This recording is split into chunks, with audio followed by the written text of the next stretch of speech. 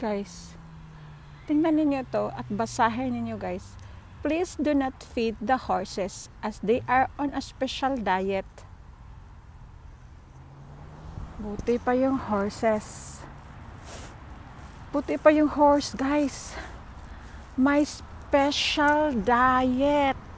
Samantalang ako, pataba ng pataba.